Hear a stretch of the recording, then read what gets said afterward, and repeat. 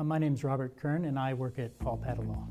I'm sort of a uh, appeals and motions uh, sort of a specialist there. I focus on the writing aspects of things. I kind of grew up everywhere. Uh, my family moved around all the time, so I've actually lived in almost every part of the U.S. Uh, I went to school uh, undergrad at Georgia Southern University, which is down in South Georgia, and uh, I went to law school at the University of South Carolina, so I'm a Gamecock. I wanted to become a lawyer because when I was a kid, I was really into like fantasy novels and such, uh, with the knights and the heroes, and you know, there was a point where I realized that wasn't going to be an option.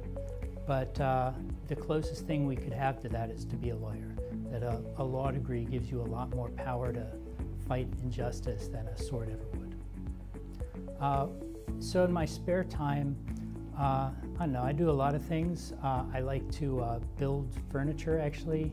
Uh, I kayak and rock climb, and uh, I actually also foster kittens. An important piece of advice I'd give a client is that being right isn't enough. Most, in a perfect world, being right would be all that matters, but that's not the world we live in. Um, we have to have the client really work with us and take part in this and get, equip us with every fact, every piece of evidence that they can so that when we go into battle for them, we're armed with every piece of evidence we can so that we can win.